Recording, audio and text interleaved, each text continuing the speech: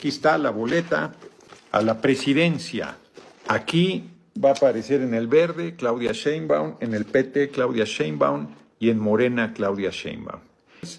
Si aparece en los tres partidos o en dos el mismo nombre candidato, como a la presidencia Claudia Sheinbaum, Claudia Sheinbaum, Claudia Sheinbaum, puedes votar por los tres, por dos o por uno. En senadores, aquí en el verde aparece Juan Pérez Jolote, en el PT Juanita Guerra y en Morena Gerardo Fernández. Pues sabes que tienen nombres diferentes el Senado, entonces no vamos juntos. Si aparece Gerardo Fernández en Morena, PT y Verde, puedes votar por los tres, o por dos, o por uno.